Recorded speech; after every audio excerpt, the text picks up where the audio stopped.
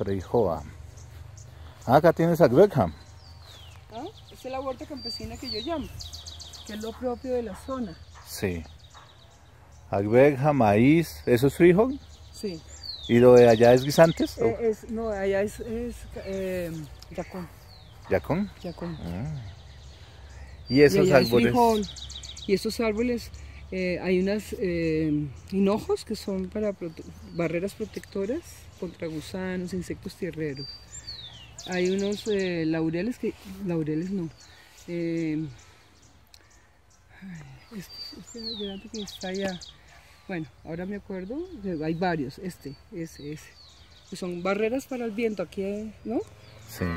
Crear atmósferas, crear climas, crear, eh, no es poner paredes que no entre el viento, sino que circule, pero controlado para, lo- para el cultivo.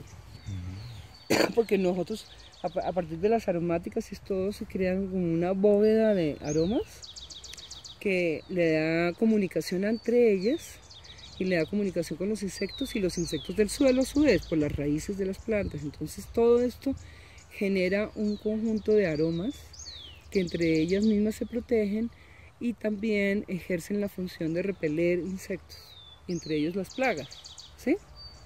Atraen y repelen. Está muy bonito. Entonces lo que uno quiere repelar es la plaga, entonces hay unos intencionales para las plagas que son potencialmente, cada planta tiene como su plaga, digámoslo así. A alguien le gusta, ¿no? Sí. Fabuloso.